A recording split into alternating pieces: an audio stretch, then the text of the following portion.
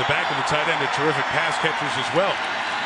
Roethlisberger has five options. He's going to take the shot downfield. Bryant broke free. Feet in bounds. Martavis is ruled a catch into the red zone at the 11-yard line.